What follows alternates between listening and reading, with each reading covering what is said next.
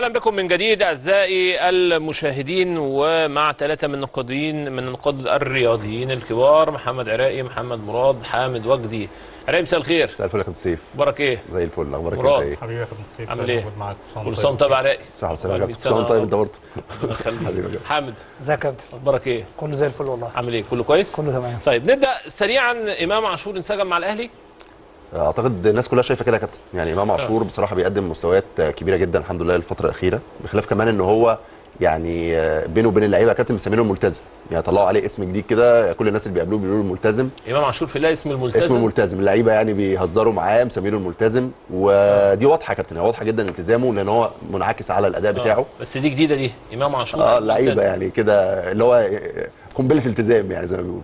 هو كابتن في حاجة كده كمان في بند عقده يعني من ضمن بنود عقده يمكن ما اتقالتش قبل كده إن عقد بيعه من ميتلاند للأهلي في بند صريح بيقول إن إمام عاشور في حالة مشاركته في أكثر من 80% مباريات بطولة الدوري والأهلي خد بطولة الدوري يحصل نادي ميتلاند على 200000 دولار. ونفس الكلام بالنسبة لبطولة دوري أبطال أفريقيا لو إمام عاشور شارك في أكتر من 80% من مباريات الأهلي في بطولة دوري أبطال أفريقيا يحصل برضو ميتلاند على الف- آه، 200000 دولار. يعني في 400000 دولار بونص لنادي ميتلاند في حالة يعني تألق وظهور آه، إمام عاشور بشكل مكثف غالبا كده. هياخده. هياخدهم آه. أي- بنسبه كبيرة فعلا. الأهلي هينسحب من بطولة السوبر ليج؟ آه، بص يا كابتن يعني طلع الكلام بعد بعد ما صن داونز طلعوا اتكلموا قال لك إن هو ممكن ممكن يعتذر أو ينسحب من البطولة. طلع الكلام بعدها إن الأهلي هو الآخر ممكن يعتذر أو ينسحب لكن الأهلي لغاية دلوقتي مكمل في البطولة. الاهلي مش هينسحب ولا يعتذر ونفس الأمر صن داونز يا كابتن مش هينسحب أو يعتذر. يعني طالع الكلام يعني من الصحف هناك في جنوب أفريقيا إن ممكن صن داونز هيلعبوا في الدوري عادي بشكل طبيعي ويلعبوا بفرقة تانية في في بطولة السوبر ليج. حصل خلاف في في, في بعض الأمور المالية مع الشركة الإيطالية والشركة الراعية للبطولة مع النادي الأهلي. منها ال- الطيارة الخاصة. الأهلي هي- هيتحمل نص التكلفة والشركة الإيطالية تتحمل نص التكلفة اللي هي 200000 دولار و200000 دولار. لكن الأهلي كان رافض الموضوع ده وكان في تحفظ على الموضوع على النقطة دي تحديدا. آه، الأهلي يعني النها- النهارده سمعنا على المكافئات اللي هي 4 مليون دولار و3 مليون دولار. السبب الرئيسي فيها الاعلان عنها إن هو هو النادي الأهلي كابتن النادي الأهلي كان ضغط الفترة اللي فاتت وعمل اجتماع. مش هشارك غير ما اعرف مش هشارك لما اعرف ال- ال- الأرقام بتاع البطولة. خلاص ال 4 مليون للبطل الأول 3 مليون للبطل لل- للوصيف.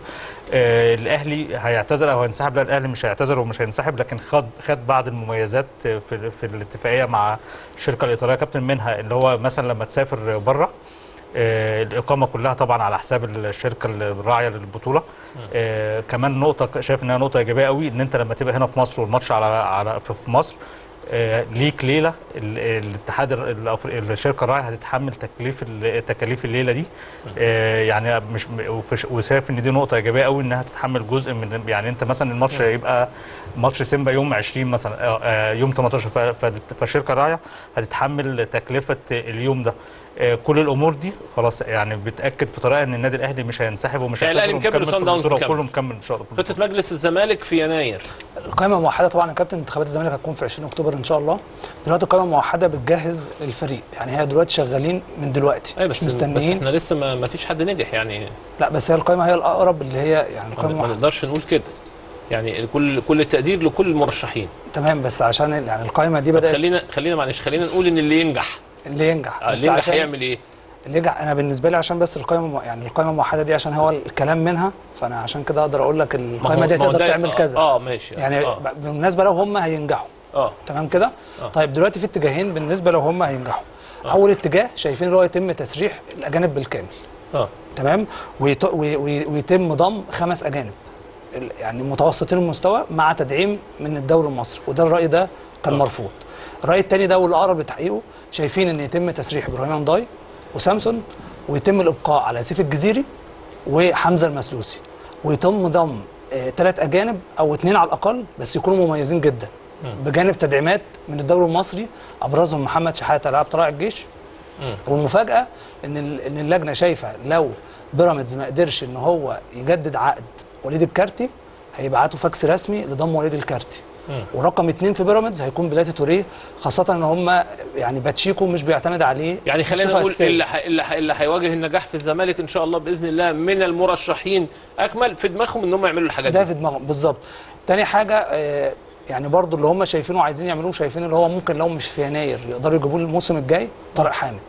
هم يدخلوا في مفاوضات جدا اللي هو خاصة طارق حامد يعني يقدر يجيهم السعودية ويجي تاني الزمالك. فتوح؟ فتوح؟ طيب بالنسبة لفتوح يا كابتن فتوح فيه لغط كبير. فتوح من سنة بالظبط قعد مع الكابتن سيد عبد الحفيظ ومضى على عقود للنادي الأهلي. من سنة.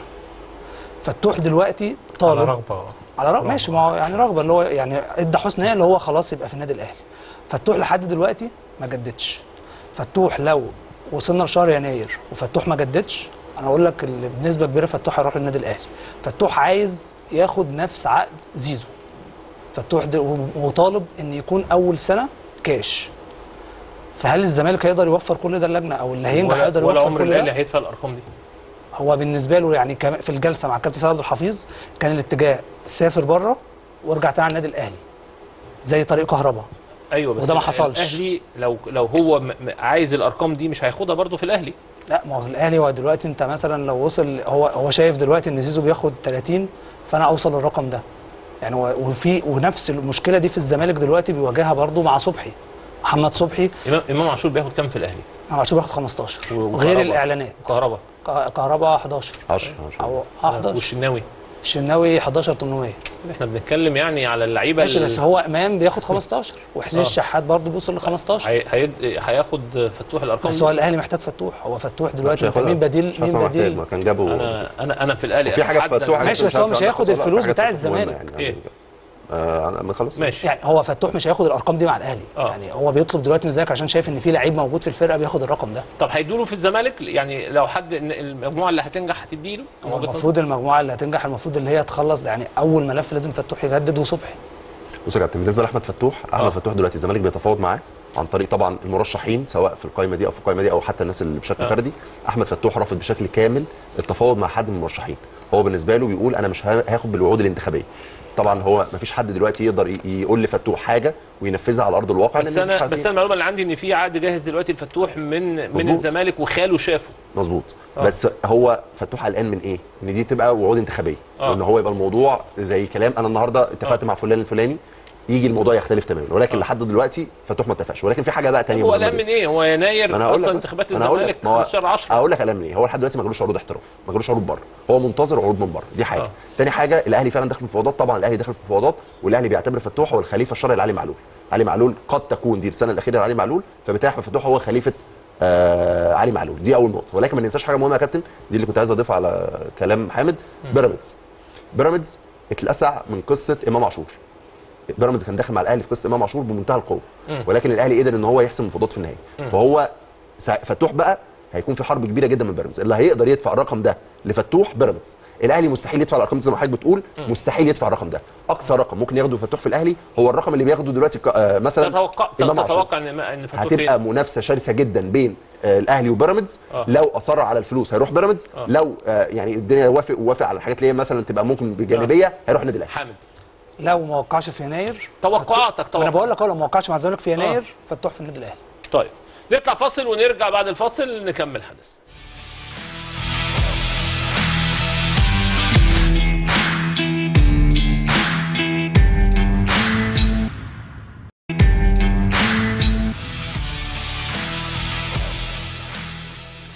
نرجع تاني بقى ونبتدي من عند عراقي آخر مستجدات كهرباء بص يا كابتن هو من أسبوعين بالظبط جت حيثيات الحكم بتاع كهربا يعني وصلت حيثيات الحكم والمفروض كهربا في خلال ثلاث أسابيع بيبعت آه، يا إما يدفع الغرامة يا إما آه، يقدم استئناف جديد. طيب آه، كهربا هيعمل إيه؟ كهربا يعني قرر كده بشكل مبدئي إن هو مش هيدفع الغرامة دلوقتي وهيقدم استئناف جديد، هو من حقه يقدم استئناف. الاستئناف ده هيقول فيه إيه؟ هيقول فيه حاجتين، يمكن كلام مقرر شوية ولكن هو ده يعني حصل قبل كده بالكربون ولكن هو ده اللي هيعمله كهربا إن هو هيقول إن هو ما بيحصلش على. يعني ما بيحصلش على مرتبه بالدولار فبالتالي الدولار مش متوفر معاه. دي أول حاجة. تاني حاجة هيتكلم برضو تاني على قصة نادي. قفش البرتغالي. نادي قفش آه، دلوقتي خلاص ابتدى يعني بيرجع تاني وبالتالي نادي قفش المفروض يدفع آه، نص الغرامة. ولكن في حاجة يا كابتن فيها ليها علاقة بيقول لك إن كهربا ممكن يعتزل أو كهربا ممكن يتوقف.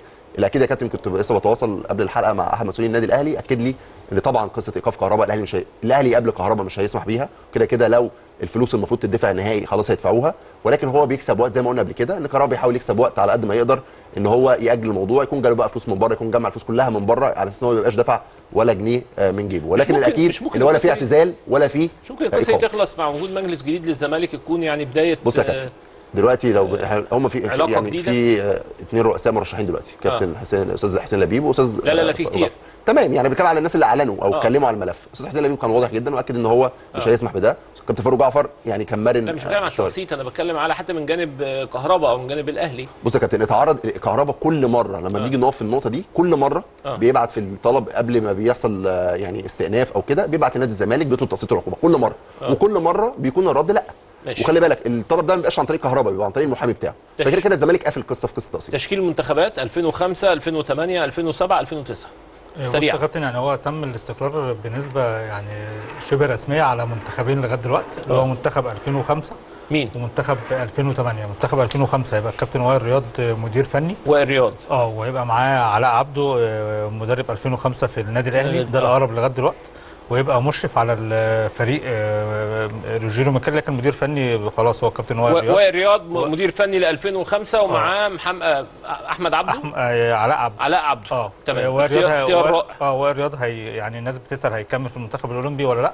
لا خلاص الكابتن وائل هيبقى تركيزه كله في منتخب 2005 آه. الجهاز المنتخب الأولمبي هيبقى زي ما هو مش هيضم مش هيتم ضم أسماء جديدة. تمام. آه، في 2008 الأقرب بنسبة كبيرة خلاص الكابتن أحمد الكاس. آه، ومعاه الكابتن عادل مصطفى. نجم الأهلي اختيارين رائعين كابتن أحمد آه، الكاس وكابتن عادل مصطفى. آه آه، حراس المرمى في 2005 كابتن أيمن طاهر. تمام. ايمن ايمن كابتن آه، أيمن يعني طاهر اختيار آه، رائع جدا. طبعا مدرب كبير وكمدرب منتخب مصر أول مع كابتن حسام بدري فاختيار مميز طبعا.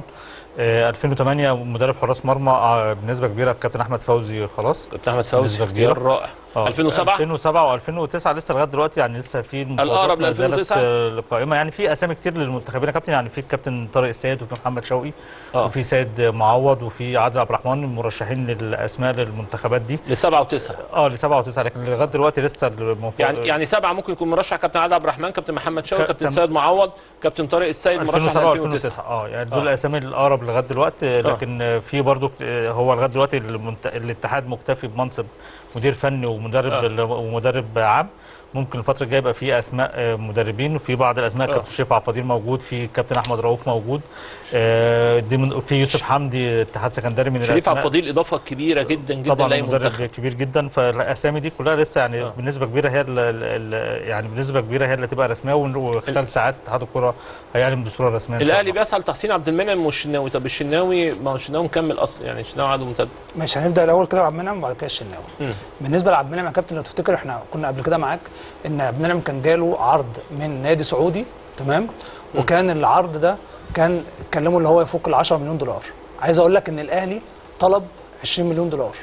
طيب عبد المنعم دلوقتي الأهلي عبد المنعم دلوقتي بعد العودة من امم أفريقيا موجود في الفئة الثانية اللي هو. بياخد حوالي 7 مليون و500 لحد دلوقتي عبد عبد المنعم ما زادش الراتب بتاعه. فالأهلي الفترة الجاية هتشوف خبر إن تم تجديد عقد محمد عبد المنعم عشان يبقى تمديد. تمديده. تمديد عقد محمد عبد المنعم هيروح الفئة الأولى. عشان يكون موجود في الفئة الأولى وكمان يكون موجود مع النادي الأهلي. الشناوي طبعا خلال الفترة الأخيرة كل شوية في عروض. والنادي الأهلي إحنا كنا اتكلمنا الحلقة اللي فاتت إن الأهلي هيسعى اللي هو يزود الراتب بتاع محمد الشناوي بالفعل تم التواصل معاه اللي هو الفترة الجاية خلاص بعد عودة يعني تواجد الكابتن محمود الخطيب هيحصل ده. بس أنا واقف عند الشناوي في حاجة معينة. كان خلال الساعات الماضية أو خلال الأيام الماضية كان في كلام كتير طلع إن علي لطفي حارس مرمى نادي زد في بند في عقده بيسمح ليه العودة للنادي الأهلي بعد السنة الأولى. عايز أقول لك الكلام ده يا كابتن على مسؤوليتي أنا الكلام ده عالي تمام من الصحة. أنا لك على مسؤوليتي أنا. ما سمعتناش في الفاصل؟ يا أخي حرام عليك. هو ليه حق بقى؟ عامل فيديو. مين اللي عامل فيديو؟ عراقي لا لا ورئيس النادي مأمن. على إيه؟ على إيه؟ الموضوع. على ال علي على مسؤوليتي أنا؟ مفيش الفيديو. بند. مفيش بند قلت إيه العودة. وهو ليه؟ أنا قلت إن علي لطفي آه. ليه الأهلي ليه أولوية في عودته؟ آه. لا ليه أولوية؟ كابتن آه. مفيش بند أصلا في العقد أنا صح. لا إيه؟ هو اللي صح.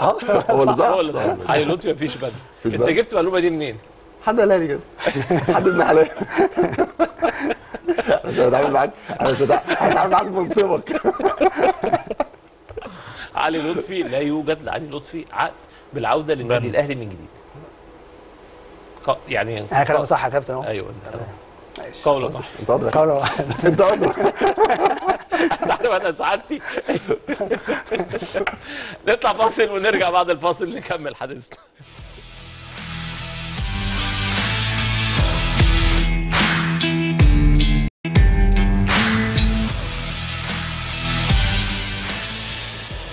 نرجع تاني بقى سريعا وعايز كده في دقيقة.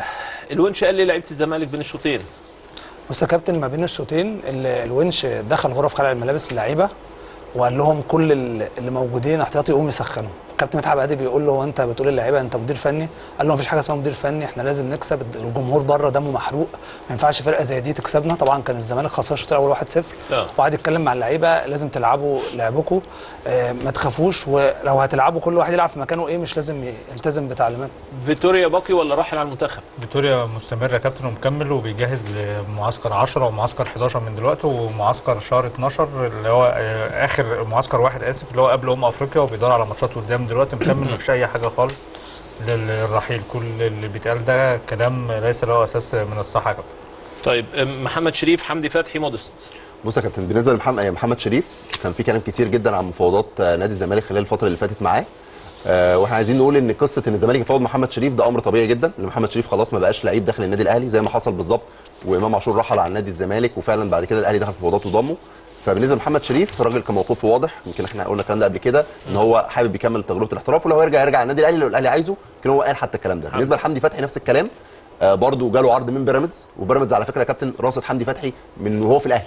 لدرجة لما الأهلي طلب وليد الكارتي وطلب محمد حمدي قبل كده في وقت سابق ساعتها بيراميدز قال لك لو نعمل صفقة تبادليه إحنا محتاجين حمدي فتحي. فكده كده هم محتاجينه بشكل كبير ولكن برضه حمدي فتحي أكد إن هو مستمر على الأقل هيقعد ثلاث سنين مع وكيله أكد إن هو مستمر ثلاث سنين. موديست يا كابتن في ناس اتكلمت كتير عن قصة الراعي بتاع آه، الشاي الجديد ده إن ممكن يكون ده بسبب آه، موديست وال- والفيديو الترويجي بتاعه. الحقيقة لأ إن شركة الكورة كانت شغالة على الموضوع ده من ثلاث أربع شهور قبل ما هو يجي خالص. ولكن قصة الترويج ليه بالطريقة دي كانت بالتنسيق مع الراعي الجديد اللي بالمناسبة دفع 150 مليون جنيه 50 مليون جنيه لمدة ثلاث سنوات آه، بواقع طبعا 50 مليون جنيه عن كل سنة. بالنسبة للقصة بقى كنت كنا بنتكلم فيها قبل الفاصل آه، قبل الفاصل بتاعت علي لطفي. آه. آه، بما إنك طبعا أنت أدرى. يعني أنا عايز أقول لك إن الأهلي بيعمل كده مع كل اللعيبة حتى اللعيبة اللي بيبيعها بيحط البند ده. فهو لو ما حطش البند ده إحنا دورنا أنا أقول لك إيه؟ بس يا كابتن أقول لك لو ما حطش البند ده إحنا معاك إحنا دورنا إيه؟ أنا أقول لك بس إن أنت تقول المعلومة آه وتكتب فيها. اللي فيها. المرة دي يعني ما فيهاش حاجة يعني لا بص هو الأهلي دايما ده ال system بتاعه إن هو بيحط حتى لو بايع اللعيب يحط بند إن هو ممكن يرجعه برقم تاني معين آه. فهو عمله مع لعيبة في نادي زد ممكن يكون ده ما عملش مع علي لطفي بواقع العلاقة الطيبة مع نادي زد إن كده كده لو الأهلي طلب أي لعيب من نادي زد آه نادي زد هيديهوله دي المعلومة اللي عندي برضو بواقع دي ده برضو دي, واضح دي, يعني دي معلومة صح عشان ما. بقاش كل حاجة قلت لك غلط. كل حاجة كلها طب كويس يعني دي دي دي, دي, دي معلومة صح.